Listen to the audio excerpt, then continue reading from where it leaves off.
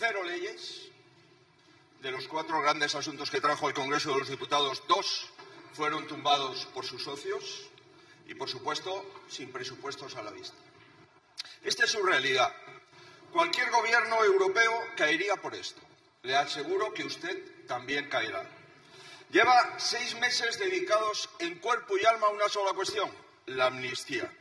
Tiene que darse cuenta que cuatro años así son insostenibles. Cuatro años así no hay quien los aguante, ni siquiera usted, experto en descomposición del gobierno. Mientras vive obsesionado con las noticias que le llegan de Waterloo, la España, la España real, se siente desatendida. Mire, la sequía, la inmigración, el incremento de los impuestos. Señor Sánchez, de los españoles sin antecedentes penales también requieren la atención del Gobierno.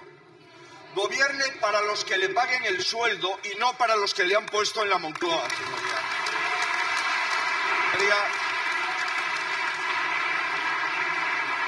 Le estamos viendo estos días demasiado centrados en cambiar los criterios de la Fiscalía. Debería escuchar a la agricultura. ¿Sabe por qué? Porque no aguanta el dogmatismo ambiental de su gobierno. El problema de los agricultores españoles no solamente está en Bruselas, está en las bancadas de su gobierno, señoría.